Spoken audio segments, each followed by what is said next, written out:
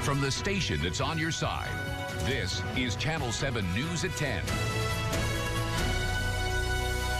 And a very good evening to you. We begin tonight with falling crime rates in Pulaski County.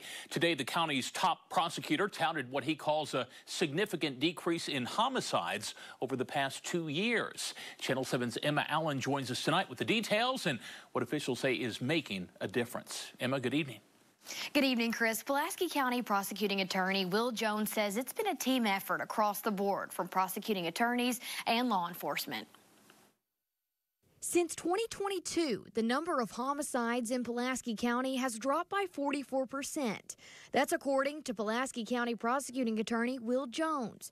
He says the decrease in crime stems from a joint effort among multiple departments. It, it's really due to the, all their hard work that goes on in this office, and along with our community partners and law enforcement and all of us, it, it takes it's a, a full collaborative effort. To try and keep those homicide numbers down, Jones and his team have created an organized criminal intelligence unit that focuses on identifying and prosecuting people who engage in criminal activity. And it's kind of a, a combination of some units that we had here in the past. And what we found is a lot of times drug dealing, dealing in illegal drugs and illegal firearms, those things have been, these criminal enterprises have been driving those. Jones says improving relationships with law enforcement and visiting homicide scenes to get a better understanding of how they happen were keys to helping lower the homicide rate.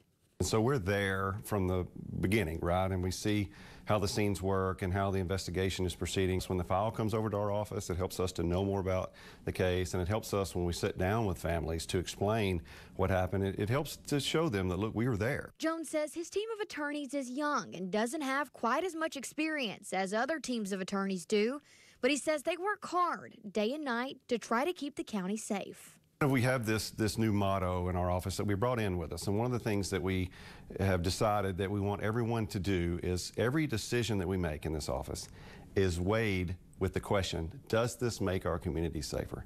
And so every one of our attorneys have embraced that and our, our staff and uh, investigators, everybody has embraced that. And so it informs every decision that we make. Jones also mentioned that in Little Rock, homicides have decreased by 51% since 2022.